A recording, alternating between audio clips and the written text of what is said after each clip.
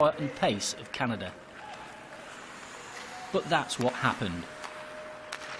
Canadian captain Sidney Crosby had experienced a quiet tournament so far by his standards, but he had a devastating impact towards the end of the second period, robbing Sweden of possession and surging towards goal.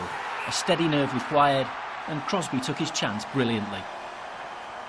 Crosby, the player who scored the overtime goal that clinched victory for Canada four years earlier, the player for the big occasion, had delivered again.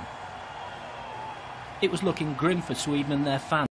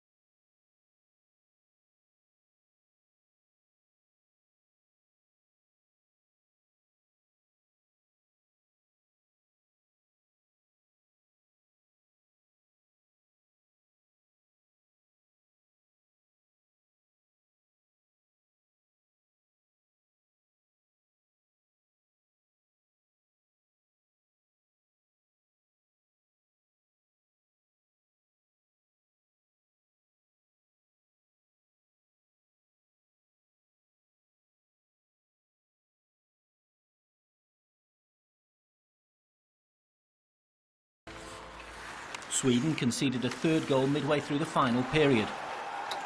Chris Kunitz with a terrific finish past a bewildered Henrik Lundqvist in the Swedish goal. Lundqvist played in goal for Sweden when they last won the Olympic title. Eight years on, this time he would be on the losing side. Lundqvist the only goalkeeper to have played every minute of every game in this tournament.